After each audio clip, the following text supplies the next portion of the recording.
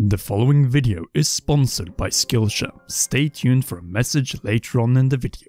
You shouldn't buy a Nintendo Switch right now, or at least you should wait until the holiday season. There are a number of reasons for this. First, we obviously have Nintendo's presence at E3 this year, where we could see a reveal. Then Joy-Con drifting possibly could be also fixed later this year based on new interesting patterns, after lawsuits have been biting Nintendo after not fixing the issues and showing Mario Kart drifting since the 2017 hardware overview. But most of all, leaks. Plenty of leaks data mines, and reports. And the following recommendation that we're gonna give throughout this video of holding back your Switch purchase does not tie to the handheld only Nintendo Switch Lite, which is obviously a cheaper handheld Switch, which obviously doesn't switch since you can't dock it, but rather the base model Nintendo Switch. So if you want a Nintendo system for just exclusive handheld play, then go ahead and buy the $200 Switch Lite. Instead, let's look at things from a hardware and software perspective. Namely, that the new Nintendo and Pokemon system seller titles are still far away. A new and likely top model Nintendo Switch is on the way, and possibly even completely replacing the regular Nintendo Switch forward, with it likely bringing a substantial price cut of the current base model Nintendo Switch. So let's go over all of these in depth through this video, so that you make the right choice for you. And in return, I will only ask if you can press that like button and subscribe button, as we are working on far more Nintendo Switch videos forward. With that out of the way, let's start with the software, as until August it is rather lacking in big new AAA Nintendo mainline titles. Though we have new Pokemon Snap, Mario Golf Super Rush, and The Legend of Zelda Skyward Sword HD. If any of these games are the most important reason for you to buy a Switch and you don't already own a Nintendo Switch, then buy the system now. Over 20 years of waiting for a new Pokemon Snap is long enough. Not going to say more than that. But if the games you're looking forward to the most are Pokemon Brilliant Diamond, Shining Pearl, the sequel to Legend of Zelda Breath of the Wild, Pokemon Legends Arceus, Splatoon 3, Bayonetta 3, Metroid Prime 4, and so on, then you might as well wait, since none of these massive titles will be out on the Nintendo Switch until at the earliest October-November, with the rest coming in early, mid, and late 2022, and some even first in 2023. In other words, there's no need to hurry with buying a base model Nintendo Switch if these groundbreaking games are what you have in your targets. And based on current sales of the previous installments of these games on the Switch, then it is very likely that these games are some of the most important reasons to buy a Nintendo Switch. Outside of the software lineup, it is one obvious reason to wait on the hardware front, as Super Switch, new Nintendo Switch top model, or Switch XL, or Switch Pro which is likely on the way. No wonder, as this is probably Nintendo's worst guarded secret in 2021. Reports and numbers about OLED 720p, 7 inches with minimum bezel from Samsung, production of these ones starting in June and being delivered for assembly at Nintendo's factories in Taiwan from end of July. The next Zelda game not being shown again for two years after its initial reveal, Nvidia preparing new upscaling technology to somehow carry a top model Switch to upscale 4K for certain titles, and even a possible new system on chip.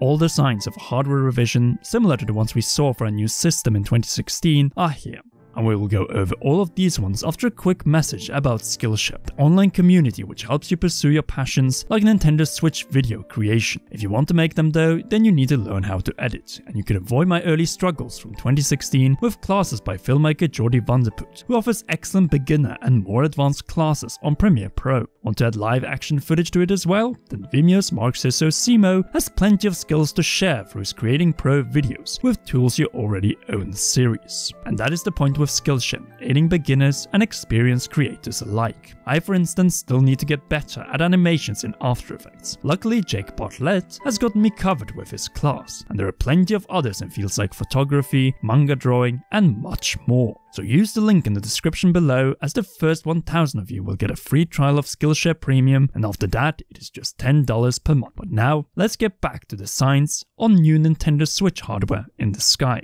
We know what Nintendo is doing. They pretend that nothing is happening in regards to new Switch models so that people don't wait but instead burn off another $300 right now and hopefully burn off $350 or $400 again when you finally reveal a top model that will put it and its $300 price to shame. It may not happen right away, but sometime between June and October, much like with the Switch in 2016 and Switch Lite in 2019, or even during E3 between June 12 and 15 now that Nintendo is confirmed to participate. Anyhow, from this reveal until release, it is likely that Zelda and the new model will follow each other hand in hand. After all, this is a proven marketing strategy, possibly say for a holiday 2021 release, as Nintendo needs this combo to maintain their high ambitions after Animal Crossing New Horizons broke all kinds of records in the 2020 to 2021 financial year. Since Nintendo knows very well that many of us are ready to throw money the moment they announce a more powerful Switch with the first proper Zelda bundle and design,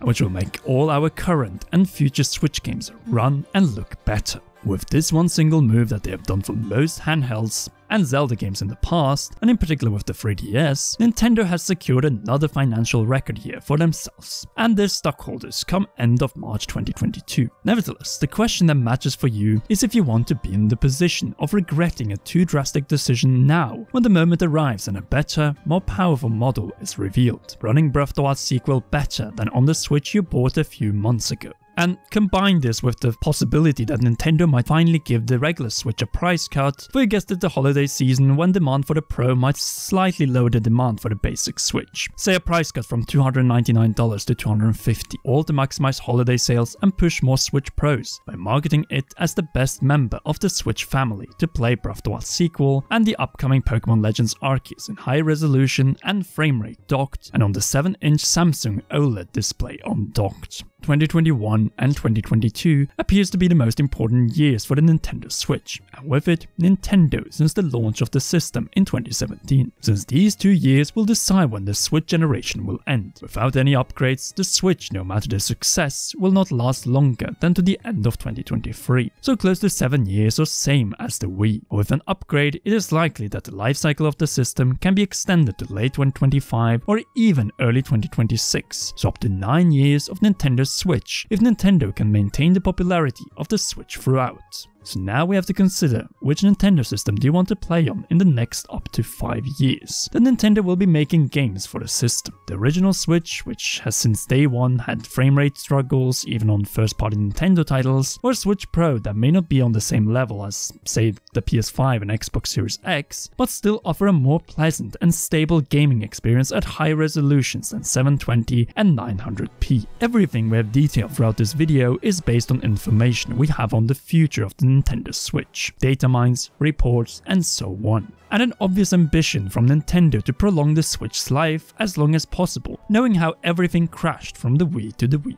U.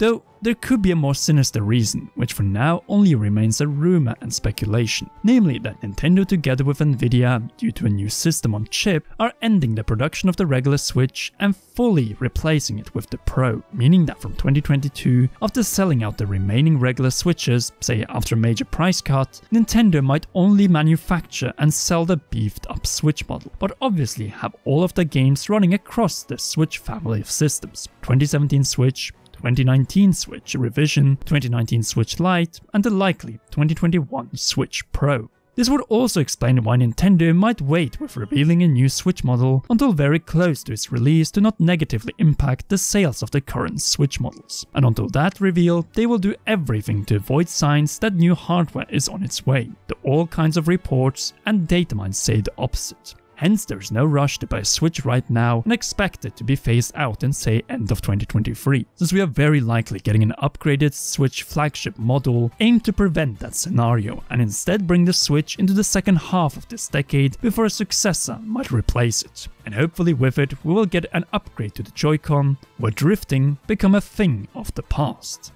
Ultimately, the choice is yours on what you want to play on until the Switch is succeeded, which will happen one day as gaming and TV technology need to improve to sell new units. So what will you do? Wait until late 2021 for the big titles, a more and more likely Switch Pro, or even a price cut for the current model. That is unless you need to own a Nintendo Switch now or need another when you already own one or more. Personally, I'm waiting to upgrade from my March 3rd 2017 day 1 Nintendo Switch, as I'm not in the group that needs a Switch Lite which I can't use for work related purposes like capturing game footage. I want to play future Nintendo games at their best without wasting more money than necessary until that time arrives. In other words, I'm not buying any Switch model until we get an upgrade. But what is your personal decision and take? Write it down in the comment section down below and I will heart the best of them. You will also make me very happy if you give a like to this video and press that subscribe button for more informed and honest videos on the Nintendo Switch. Plus press that notification bell again for all notifications to not miss any of them. Finally, a big thanks goes to all our great patreon.com slash common realm patrons and in particular to our role producer Charles Shush. You rock. And to all of you, please enjoy one or both of these two awesome videos.